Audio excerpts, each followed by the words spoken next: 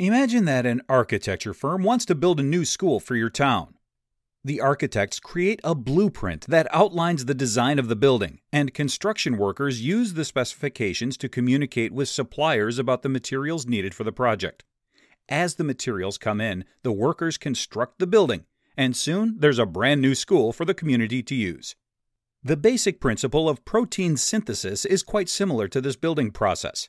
Communities need schools to grow and thrive, and cells need proteins for the same reason.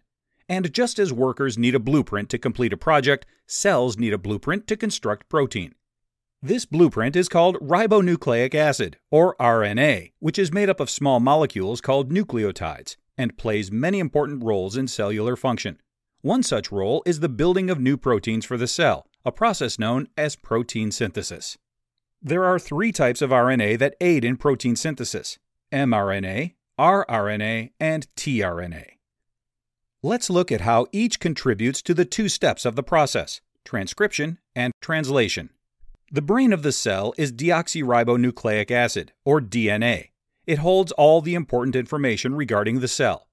DNA lives inside a safe structure called the nucleus, which is much like the skull in that it keeps the brain safe.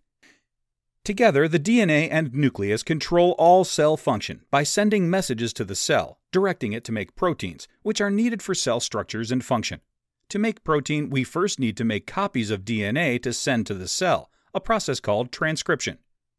The original DNA is held safely in the nucleus, and the copies of DNA are called messenger RNA or mRNA. Now the cell is ready to make proteins in a step called translation, which involves reading mRNA to make proteins. The mRNA leaves the nucleus and enters a ribosome, the site of protein synthesis. Each ribosome is made of a protein and ribosomal RNA, or rRNA, which reads the mRNA. The ribosome acts like a tiny factory that pumps out proteins. After reading the mRNA, the rRNA sends for the types of materials it needs that is, the amino acids that comprise proteins. There are 20 different types of amino acids, and each protein needs specific ones arranged in a specific order. A molecule called transfer RNA, or tRNA, brings the correct amino acids to the ribosome, which then assembles the amino acids into a final protein. The protein is then folded with the help of other proteins in the cell and then shipped to where it needs to go. DNA contains the instructions for protein synthesis, which is the process of creating proteins, the building blocks of all cellular structure and functions.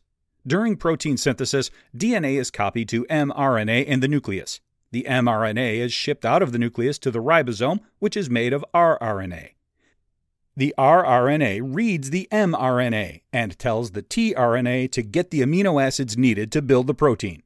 After the tRNA brings amino acids back, the ribosome assembles them into a final, complete protein, which is then shipped to where it is needed.